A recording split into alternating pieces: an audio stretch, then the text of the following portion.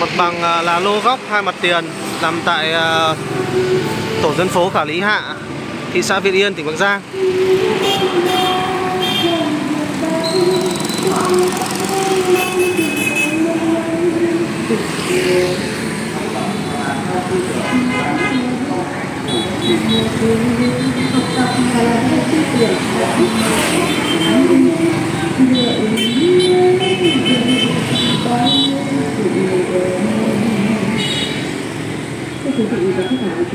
Mặt bằng nằm à, giữa ngã ba cổng à, vào tổ dân phố Hà Cả Lý Hạ.